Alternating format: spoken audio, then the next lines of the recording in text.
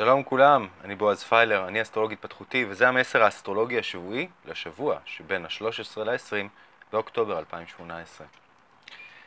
אה, איך עוברים עליכם הזמנים האלה? שינויים? מישהו אמר שינויים, changes,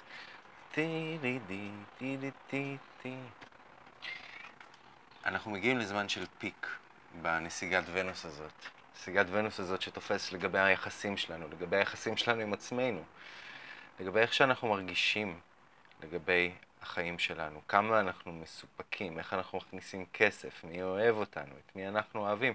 האם האהבה הזאת היא באמת מה שאנחנו ראויים לה? הנושאים הוונוסיאניים נמצאים בהתמרה, בשינוי, וככל שאנחנו מתקרבים לסוף אוקטובר, השינויים האלה גוברים. והרבה פעמים השינויים האלה גם נכפים עלינו. אני לא יודע אם ראיתם את הוידאו שלי על נסיגת ונוס, שם יש יותר פירוט על כל התהליך הזה, אבל זה זמן שהרבה פעמים, אה, קודם כל, האסטרולוגיה מייעצת לשים בספק בזמן הזה את כל הנושאים הווניסיאניים. בעצם לאפשר לעצמנו להסתכל על דברים מנקודת מבט שונה, מזווית אחרת. אני מאוד חשבתי שאני אוהבת שיש לי שיער ארוך בלונדיני, ופתאום עכשיו נורא בא לי לעשות שחור קצר. אמ, יצרה איתי קשר לקוחה שצריכה עכשיו אה, להחליף את השיניים בפה. שאלה אותי האם זה זמן טוב לעשות את זה. אמרתי שבאופן כללי עדיף לחכות לאחרי הנסיגה, אלא אם כן זה עניין בריאותי, ואם זה עניין בריאותי נתתי לה תאריכים טובים סביב הזמן שנקבע לה.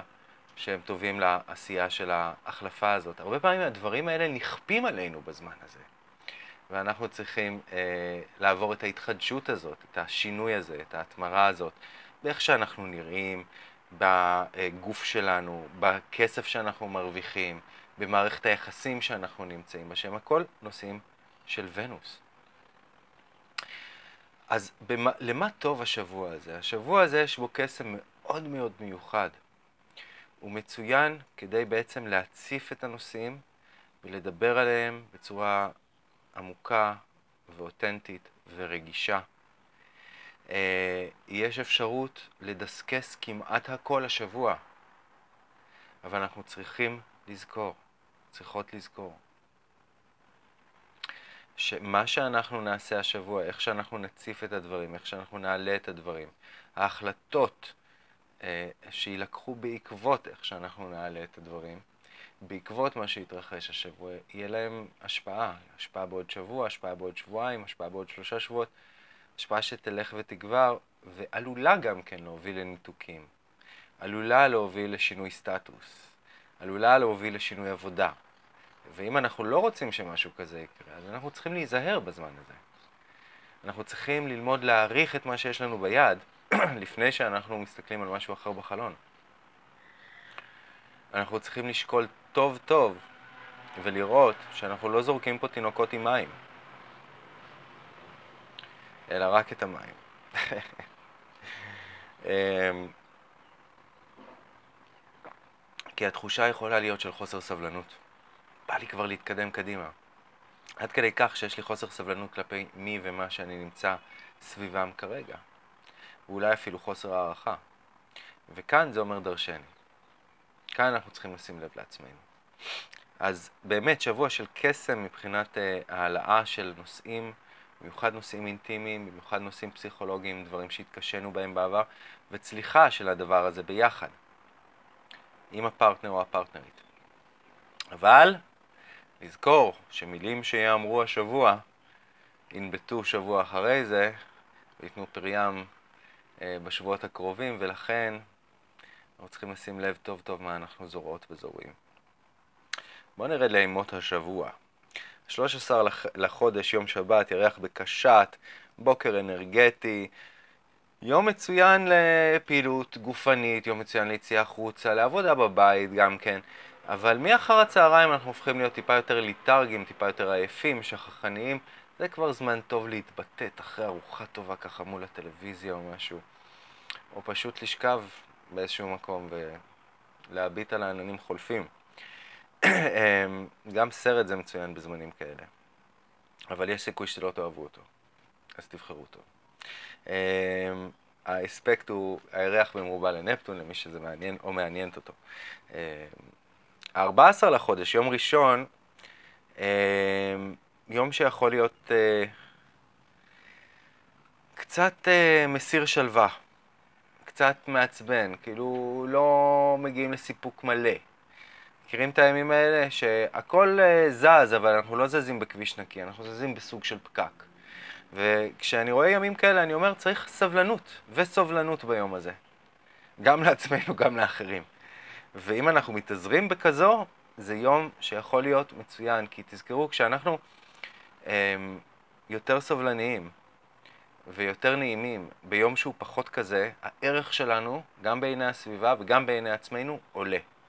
זה כמו שאני אגיע עכשיו למדבר, שבו יש שבט שמאוד מאוד חסר לו מים נקיים. ואני אגיע עכשיו עם ג'ריקן של מים על הגב. אם הייתי מסתובב עם הג'ריקן הזה בניו יורק או בתל אביב, אנשים היו חושבים שאני קצת מוזר, אבל אם אני אסתובב עם הג'ריקן הזה במקום שמאוד חסר בו מים, הערך שלי יהיה מאוד גבוה. מי זה הבן אדם הזה שנושא איתו כל כך הרבה מים, כשפה בחוץ כל כך יבש, והאם הוא יכול לתת לנו לשתות? אז uh, שאו איתכם את המים האלו. יום שני, יום עמוס, עמוס במרומים בכלל, ה-15-16 הם ימים קצת רגישים, קצת יכולים להיות דרמטיים מדי, או עם שפיטה קרירה מדי. ה-15 הירח צמוד לשבתאי, במרובה לחירון. הרבה פעמים הערך העצמי שלנו אה, יותר חלש בימים כאלה. תגידו לי כשהשיער שלי קופץ, אני לא רואה את זה. אני פתאום צריך להסתכל במצלמה ולראות שהשיער שלי כאילו חושב שעכשיו זה שבוע אין כוח גבידה. תגידו לי. בכל מקרה, אמ, אבל מאחר הצהריים של היום הזה, הדברים הופכים להיות הרבה יותר קלים ב-15 לחודש. כלומר, במיוחד אם אנחנו נמצאים בסביבה של עוד אנשים ולא עוברים את זה לבד. זה היום, ממש, הזמן, הפיק, באמת לדבר על דברים, להוציא דברים החוצה, אה, אה, להגיע לאיזשהו תהליך אינטרוספקטיבי, גם אם אנחנו לבד. לבחון עם עצמנו, לנהל דו-שיח עם עצמנו לגבי הנושאים שהכי חשובים לנו בחיים, שמביאים לנו את הסיפוק המרבי מהחיים שלנו מעצם זה שאנחנו קיימים פה. לאפשר לעצמנו להסתכל על כל הנושא הזה מזווית אחרת. ולא להאמין לגמרי. לא להאמין לגמרי, לא לעשות עדיין החלטות אה, חד משמעיות, אבל להבין את הלגיטימיות שיש בראייה השונה הזאת, בזווית האחרת הזאת, להבין את הצד השני באיזשהו מקום. אה, וחשוב להעלות את הדברים בצורה שהיא רגישה, שהיא מלאת טקט, ושהיא כנה, ושהיא חושבת על התוצאות של מה שיקרה בעקבות הדברים האלה. שמסגננת את הדברים נכון. כי כבר ב-16 לחודש הדברים יכולים להפוך יותר דרמטיים בבוקר. אה, זה זמן בכלל, זה יום כזה שיכול להיות קצת יותר קונפליקטואלי בין גברים ונשים. אה, וצריך דווקא ב-16 להתרחק קצת מהרגשות, להיות יותר הגיוניים.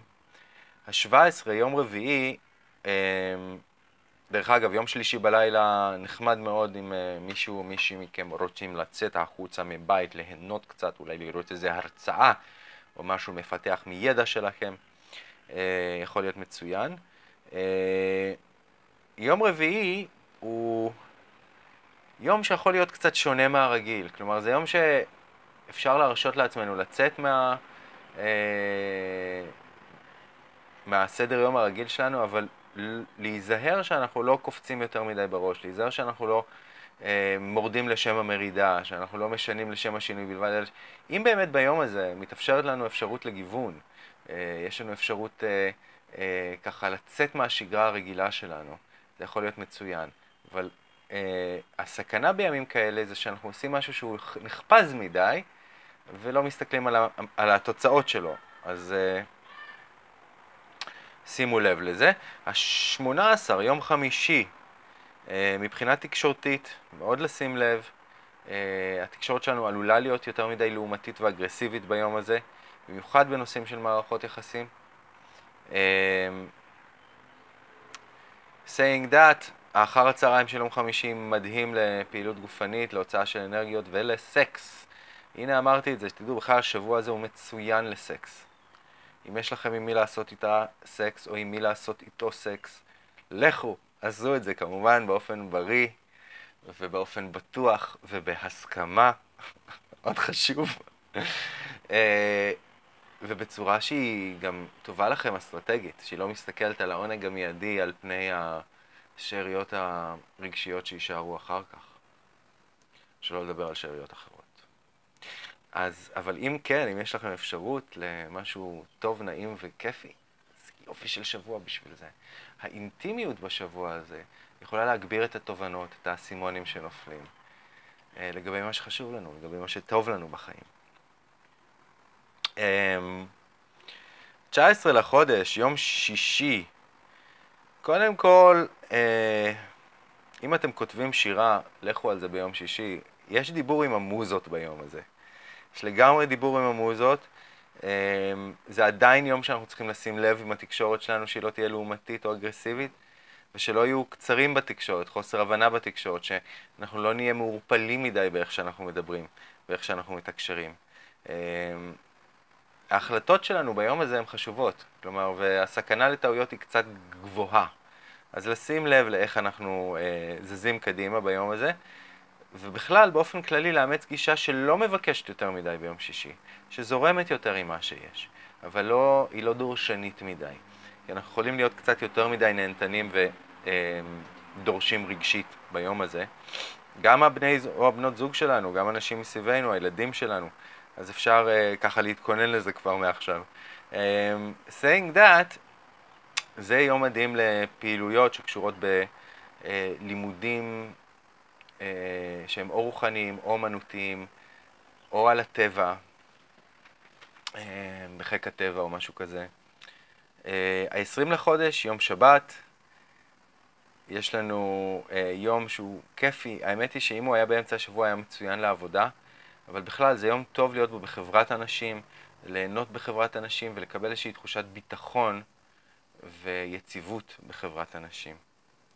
אה, וגם אם אתם לא בחברת אנשים, זה יום שיש לו אנרגיה כזאת באופן כללי, וזה לא רע, זה לא רע לנו. אני רוצה להגיד לכם שאני כבר קיבלתי אה, את ה-Career Astrologer החדש, הרבעון של אופה, אם אתם עדיין לא חברים של אופה, הארגון הבינלאומי לאסטרולוגיה מקצועית, תירשמו, תירשמו, יש לנו אירוע נוסף.